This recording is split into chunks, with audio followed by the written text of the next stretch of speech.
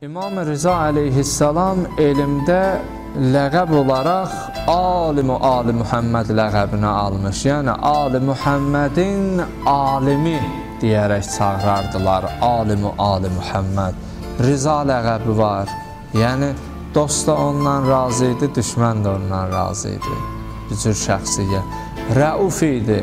Uşaqla da mehriban olardı, böyüklə də hər bir kəsə mehribancasına davranardı. Ya zaminə ahu, ey ahuya zamin olan imam ləqəbi ilə məşhurdur. Allah rəhmət eləsin Şeyx Səduq əleyhir rəhmə Uyunur Rizada yazır ki, bir gün bir ovçu bir ahunu ovluyur, ahunu ovluyur, çiyninə alıb ahunu apardıqda həmin o yaxınlıqda İmam Rıza əleyhissalam dayanarmış. Durur orada, oradaymış. Çölün heyvanatı dövrün zamanın imamını tanıyır. Amma biz bəzi insanlarda mərifət az olur ki, dövrün zamanın imamını tanımırıq. Həqiqətdə onlar tanıyırlar, dövrün zamanın imamını bilirlər. Amma bir ömür yaşayırıq, amma hələ də imam zamandan xəbəri olmur. Bilmir ki, bu alıb verdiyimiz nəfəs Allahımızın bizə verdiyi ruzi zamanın imamının nuruna görədir, onun varlığına görədir. Bundan qəflət deyil. Ahunu aparanda ahu imama öz halını bildirir. Ola bilər bunu eşidən indi çəkirlər, kanal vasitəsilə yayımlanır. Kəm əqidə, əqidəsi zəif olan insan az olan deyə heç heyvan da insanla danışar. Qəlbində şübhəsi olan bu sözü dilinə gətirər də, bəli, danışar. Əgər Allah izin verə və iradə edə ki, onun danışığın o başa düşər, danışar da və başa da düşər də. Məhər surə Yasin Allah ayə 82-də buyurmurmu ki, Əuzu billahi minəşşeytanirracim. İza aradallah li şeyin kun fəyakun. Allah nəyinsə olmasını iradə etməsi ilə onu iradə etmək olması anlamına gəlir. Məyər hudhud, o şanapipi deyərik də, o şanapipi Həzrət Süleyman Peyğəmbərlə danışmırdı. O qarışqa ilə Həzrət Süleyman Peyğəmbər danışmırdı. Danışırdı. Həmin ona qüdrət qüvvəti verən Allah imama da verir. İmamət ki, məqamca nübüvvətdən də üstündür. Quran-ı kərimdə Əl-Bəqərə surəsi 124-də Allah nə buyurur? Biz Həzrəti İbrahimi imtihan etdikdən sonra və izibtala İbrahimə rabbuhu Rəbbi İbrahimi imtihan etdikdən sonra fa atammahunna bi kelimatin bir para kəlmələr, suallar, cavablar bitdikdə, tamamlandıqda Allah buyurdu inni cailükə linnası imama. Mən səni insanlar üçün imam təyin edirəm. İmam Baqir əleyhissalamdan hədis var ki, Allah Həzrəti İbrahim Peyğəmbəri əvvəl əbd olaraq xəlq eləmişdi. Onu qul olaraq, özünə bəndə olaraq, onun ardıca bəndəlikdən sonra nəbi məqamı gəldi. Nəbidən sonra rəsul məqamı. Nəbi tərifində buyurublar: "Huwa insanun uhiyə ileyhi şər'un və lem yu'mar bi tabliği." Allah tərəfindən əmr ona gəlir, amma təbliğinə əmr olunmur.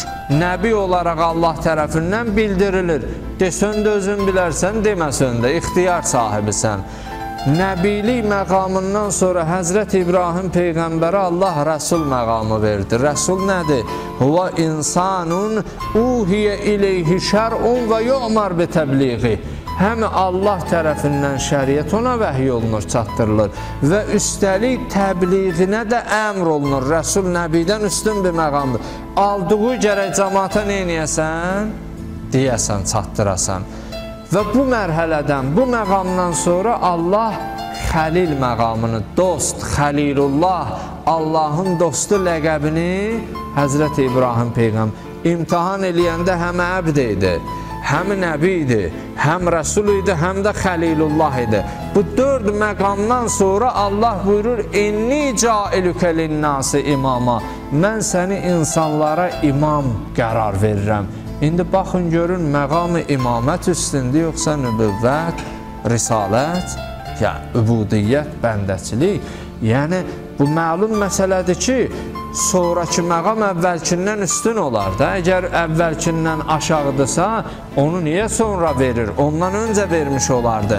Odur ki, əgər Nəbi Rəsul olaraq Həzrəti Süleyman Peyğəmbər o heyvanatın dilində danışa bilirdisə, İmam-ı Məsum da şəksiz, şübhəsiz danışa bilər. Odur ki, qəlbində şək gün olsa, bunu dedim ki, bu şək aradan gedə və bu sözdə şək yaranmaya ahu baxışları ilə və danışıqları ilə imama söyləyir ki, sən dövrün zamanın imamısan, bizim boynumuzda imamət haqqın var. Bu məni ovlayıb, bu səyyad ovçu, istəyirəm o imama niyə zamini ahu, ahuya zamin olan deyirlər İmam Rizaya, biləsən. Mərhum Şeyx Sadıq Əleyhir-Rəhmə Əxbarı Üyuni Rizada yazıb bu dediyim, danışdığım hadisəni. Deyir, mənim iki südəmər balam var, onlar gözləyir məni. Gəlmişəm, bir para nələrsə tapam, yiyəm, süd ola, balalarımı doyuram. Onlar mənim yolumu gözləyir. Mən də bilirəm sən zamana imamısan. Bu ovçunun yanında mənə zamundur. Mən gedim o mənim yolumu gözləyən südəmər balalarımı südlə doyurum, qidalandırım, söz verirəm geri dönəcəm aparsın şikarıyam, onun ovuyam, nə edir etsin. Amma o iki körpə südəmər balamı mənim intizarımdadır. Heç zaman bizə ümidi olan insanları naümid qoymayaq.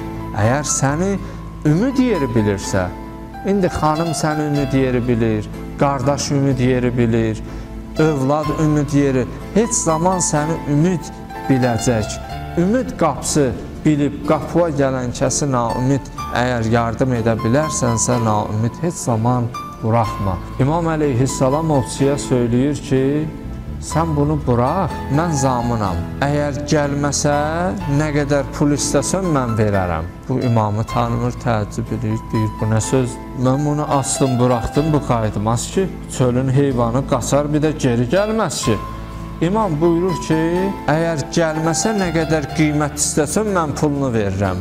İki bərabər pulunu verirəm istədiyin, amma bunu burax. Bu ovçu deyir, axı niyə buraxım bunu? Mən bunu ovlamışam, şikar eləmişəm. İmam buyurur, çünki bu mənə söylədi ki, iki südəmər balam var, südəmər körpəm var. Məni sənlə zamın durmağımı istədi, sənin yanında zamın durmağımı istədi və mən də zamın dururam. Əgər qayıtmasa pulunu verirəm. Bu səyyad ovçu açır ayağını buraxır. Sürətlə gözdən itir. Ta imam zamın durub, mərifəti var çölün heyvanı olsa da zamanın imamına, dövrün imamına. Gəlir övladlarına, körpələrinə hadisəni danışır. Ovçu onu necə ovladı, onun şikarı oldu və gedərkən zamanə imamı ilə qarşılaşıb və imamın bunun qayıtmasına zamin durmasını bu südəmər körpələrinə söylür. Onlar anadan süd qəbul etmirlər. Bir halda ki, zamanə imamı bizim üçün zamin durubsa, biz tez yetişək ora.